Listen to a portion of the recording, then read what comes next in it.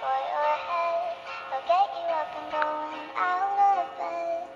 And I don't stay awake for too long.